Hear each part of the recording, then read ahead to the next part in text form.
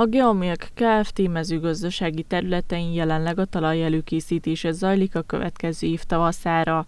Ez azért is szükséges, mert az elmúlt két év időjárása nem kedvezett a terményeknek, így a talaj is kimerültebb.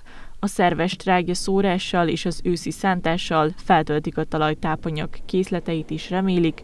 2022 időjárása kedvezőbb lesz a takarmány növények fejlődése szempontjából.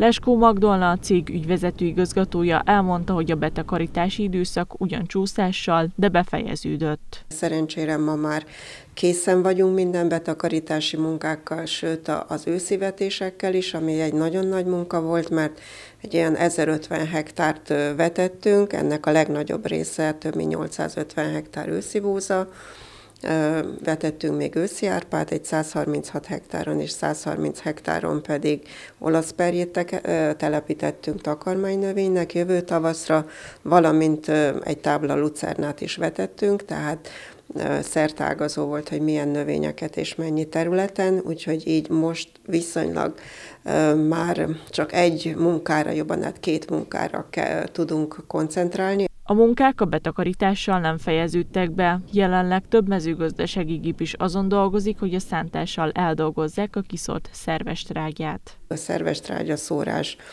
és az őszi szántás, mert 810 hektár maradt, amit szeretnénk, reményeink szerint legalábbis szeretnénk mind leszántani, mert az elmúlt két ősz olyan volt, hogy igazán nem kedvezett ennek a munkának, mert két évvel ezelőtt borzasztó szárasság volt, tavaly mm, rengeteg víz volt, így összesen 160 hektár tudtunk leszántani, így a talajaink nagyon összeülepettek, nagyon rossz lett a víz gazdálkodásuk, így ezért most mindent megteszünk, hogy a, az összes szerves trágya készletünket kiszórjuk, és szerencsére a törvényi változások is erre lehetőséget adnak. Ez azt jelenti, hogy a korábbi években csak októberben lehetett szerves trágyát szórni, most viszont ezt kinyújtották december végéig. Ezt a munkát jelenleg 7-8 traktor végzi a cég mezőgazdasági területein.